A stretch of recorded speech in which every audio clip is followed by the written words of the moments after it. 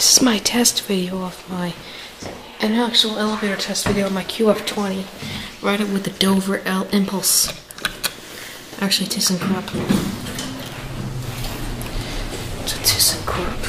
Focus camera. Whoa, focus. Focus.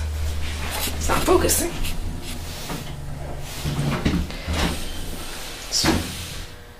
Not focusing. Because you've got your There we go. hand in front of it.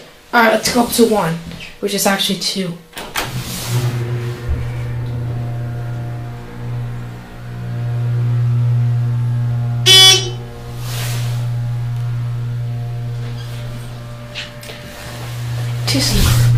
Whoa. Look at this layout, Dad. Isn't this really messed up? It is. Now they've got the whole mezzanine decorated for Christmas. Look at that. It's nice looking. Fire up. But go back down.